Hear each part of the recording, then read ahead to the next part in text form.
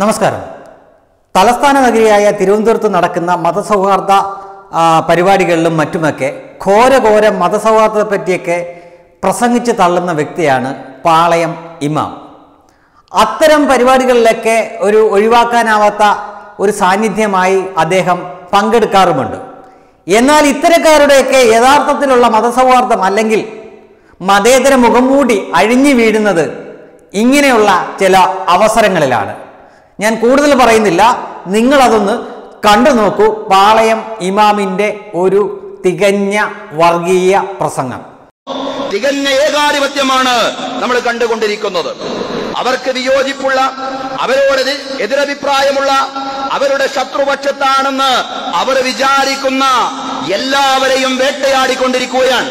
അന്വേഷണ ഏജൻസികൾ ഉപയോഗിച്ചുകൊണ്ട് ഇ ഡി ഉപയോഗിച്ചുകൊണ്ട് എൻ ഐ എ ഉപയോഗിച്ചുകൊണ്ട് തങ്ങൾക്ക് ഇഷ്ടമില്ലാത്ത നേതാക്കളെയും സംഘടനകളെയും എല്ലാം തുറുങ്കിലടച്ചുകൊണ്ട് വലിയ പ്രതിസന്ധി സൃഷ്ടിച്ചുകൊണ്ട് ഭയപ്പെടുത്തിക്കൊണ്ട് മുന്നോട്ട് പോവാനാണ് ഫാസിസത്തിന്റെ ഭാവമെങ്കിൽ ഭയപ്പെടാതെ മുന്നോട്ട് പോവാൻ നിർഭയത്വത്തോടുകൂടി മുന്നോട്ട് പോവാൻ ഇസ്ലാമിക ഉമ്മത്തിന് സാധ്യമാവേണ്ടതുണ്ട്. സംഘടനകൾക്കിടയിൽ അഭിപ്രായ വ്യത്യാസങ്ങളുണ്ട്. നമുക്കിടയിൽ പല ജാതി അഭിപ്രായ വ്യത്യാസങ്ങളുമുണ്ട്. വിഷയാധിഷ്ഠിതമായിട്ട് അഭിപ്രായ വ്യത്യാസങ്ങൾ പലപ്പോഴും നമ്മൾ പറയാറുള്ളതുമാണ്. പക്ഷേ ഭരണകൂടത്തിന്റെ വിശേഷിച്ചും കേന്ദ്ര സർക്കാരിന്റെ ഈ നിലപാട് ശരിയല്ല. വിയോജിക്കുന്നവരെ വേട്ടയാടുന്ന ഈ നിലപാട് ശരിയല്ല. ഇതിന്റെ മുമ്പിൽ നിർഭയത്വത്തോടുകൂടി ഭയപ്പെടാതെ ധീരമായി മുന്നോട്ട് പോവാൻ ഇസ്ലാമിക ഉമ്മത്തിന് ഒറ്റക്കെട്ടായി സാധ്യമാവേണ്ടതുണ്ട് എന്നുള്ളതാണ്. ഒരുമിച്ച് അണിചേരാൻ ഇസ്ലാമിക ഉമ്മത്ത് മാത്രം ഒരുമിച്ചല്ല സുമനസ്സുകളെ മുഴുവൻ അണിനിരത്തിക്കൊണ്ട് ഫാസിസത്തിന്റെ ഈ വേട്ടയാടലിനെതിരെ രാജ്യത്തിന്റെ മനസ്സുകളെ ഒന്നിപ്പിക്കാൻ ഇല്ല. അവർക്ക് രാജ്യത്തിന്റെ മുഴുവൻ പിന്തുണയുമില്ല. ഈ രാജ്യത്തെ അറുപത് ശതമാനം ആളുകൾ ഇപ്പോഴും ചിന്തിക്കുന്നത് ഈ ഫാസിസത്തിനെതിരെയാണ്. ഈ ഫാസിസ്റ്റ് വാഴ്ചക്കെതിരെയാണ് അവരുടെ മനസ്സെന്ന് പറയുന്നത്. ജനാധിപത്യത്തിൽ വിജയിക്കാനുള്ള ചില ചെപ്പടി വിദ്യകളുണ്ട്. പലജാതി ചെപ്പടി വിദ്യകൾ ഉപയോഗിച്ചുകൊണ്ട് അവരാ വിജയം നേടിയെടുത്തിട്ടുണ്ട് എന്നതൊഴിച്ചു കഴിഞ്ഞാൽ ഈ വേട്ടയാടലുകൾ ഈ അറസ്റ്റുകളെ ഈ എൻ ഐ എ മീഡിയ ഉപയോഗിച്ചുകൊണ്ട് നടത്തിക്കൊണ്ടിരിക്കുന്ന നായാട്ടുകളുടെ മുമ്പിൽ ഭയപ്പെടാതെ മുന്നോട്ട് പോവാൻ ഒരുമിച്ച് ചേർന്ന് മുന്നോട്ട് പോവാൻ ചേർത്തി നിർത്തി മുന്നോട്ട് പോവാൻ ഇസ്ലാമിക ഉമ്മത്തിന് വിശേഷിച്ചും സാധ്യമാവണം. അള്ളാഹുവിന്റെ സഹായം ഉണ്ടാവും തീർച്ചയാണ് പടച്ചവന്റെ സഹായം ഉണ്ടാവും. വിശ്വാസികളെ സഹായിക്കുക എന്നത് നമ്മുടെ ബാധ്യതയാണ്. അള്ളാഹു പറയാണ് നിങ്ങൾ വിശ്വാസികളാണോ? എങ്കിൽ നിങ്ങൾ തന്നെയാണ് അത്യുന്നതർ. നിങ്ങളെ പരാജയപ്പെടാൻ പോകുന്നില്ല. ഈമാൻ നിങ്ങളുടെ ഹൃദയത്തിലുണ്ടെങ്കിൽ അള്ളാഹു താല ഇന്നല്ലെങ്കിൽ നാളെ നിങ്ങളെ വിജയിപ്പിക്കും. നിങ്ങൾ വിജയിച്ച ചരിത്രമേ ഉള്ളൂ.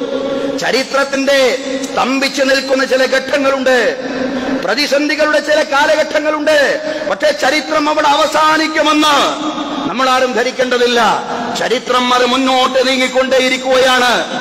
കാരാഗ്രഹത്തിൽ അകപ്പെട്ട ആളുകൾ എന്നും കാരാഗ്രഹത്തിൽ തന്നെ ആയിരിക്കുമെന്ന് ആരും വിചാരിക്കണ്ട. ബൈനന്നാസ്. ആ വിജയത്തിന്റെ ദിനങ്ങൾ നാം ജനങ്ങൾക്കിടയിൽ കറക്കിക്കൊണ്ടേയിരിക്കും. നിങ്ങളുടെ ഹൃദയത്തിൽ ഈമാനുണ്ടോ? എങ്കിൽ നിങ്ങൾ തന്നെയാണ് അത്യുന്നതർ. നിങ്ങൾ തന്നെയാണ് അത്യുന്നതർ. നിങ്ങൾ അള്ളാഹുവിന്റെ സഹായത്തിന് അർഹരാണ്.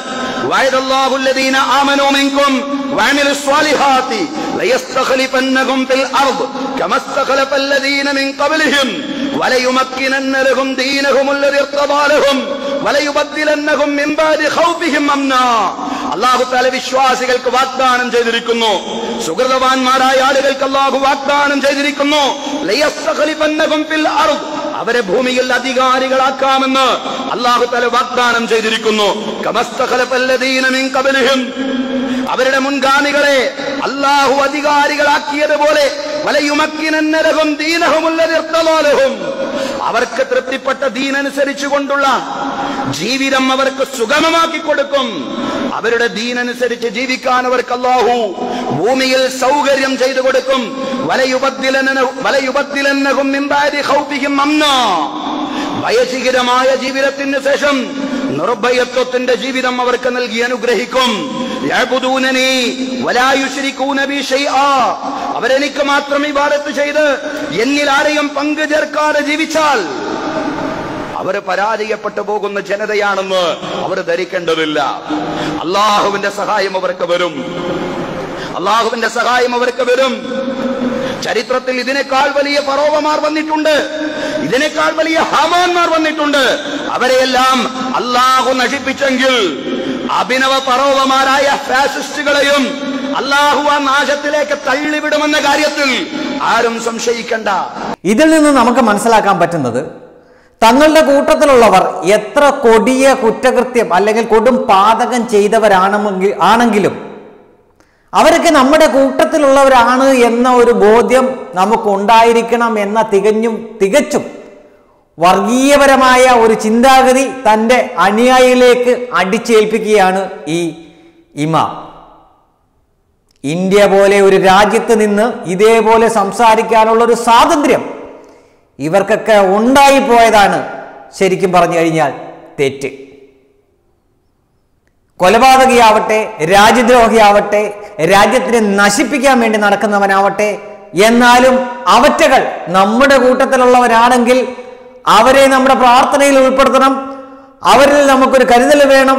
ഉമ്മത്തിന്റെ ഭാഗമാണ് എന്നൊക്കെ ഒരു ഇമാം നിന്ന് പ്രസംഗിക്കുമ്പോൾ ഇമാം എന്ന് പറഞ്ഞ വ്യക്തി മതപരമായും അല്ലാതെയുമൊക്കെ പാണ്ഡിത്യം ലഭിച്ച വ്യക്തിയായിരിക്കണം അങ്ങനെ ഒരാൾ പറയുമ്പോൾ സ്വതവേ അല്പബുദ്ധിക്കാരായിട്ടുള്ള ഇതേപോലെ മതഭ്രാന്ത് പിടിച്ചു നിൽക്കുന്ന അണികൾ കൂടി അത് ഏത് രീതിയിലായിരിക്കും എടുക്കുക എന്നതാണ് നമ്മൾ ചിന്തിക്കേണ്ടത്.